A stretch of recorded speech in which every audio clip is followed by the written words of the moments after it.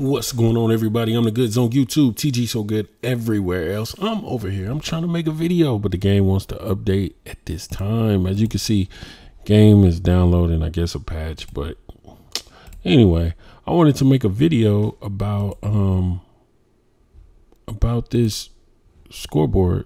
So Looyh released uh, a new gen style scoreboard. Some people gonna call it next gen. I'm gonna just call it newer gen scoreboard for PC. And so you can see it here in this video. This is Roofy Gaming or Roofi Gaming. I don't know, however you want to pronounce it. But I watch his videos from time to time. Anyway, he has a scoreboard there. Uh, as you can see, the title of the video right there, 2K24 PC Next Gen Mod. Anyway, um, the game itself does look like next gen, but the, the scoreboard is the next gen style scoreboard. And so if we go over to Looyh's page on Twitter, he you can get this scoreboard for 2K23 or for 2K24. Okay. All you gotta do, just throw it in your um, mods folder, and that's what I'm gonna do. And he even has a picture of what it'll look like. So it's not gonna be the exact replica of the newer gen, but it's the same style.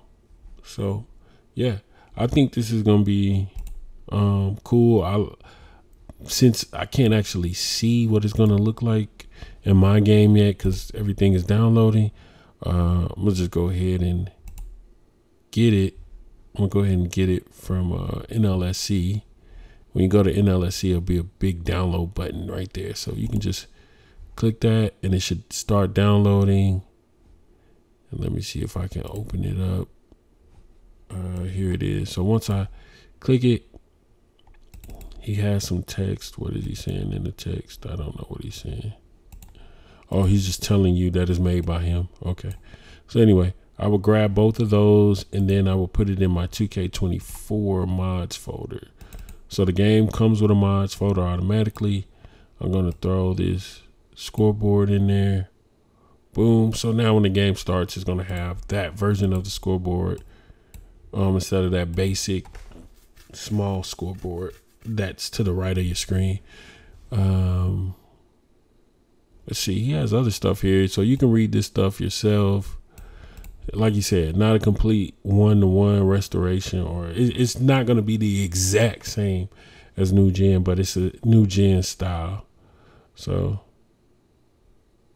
all right. So anyway, that's what you guys got. That's what I'm sending you. Big shout out to Looyh for creating this for both 2K23 and 2K24.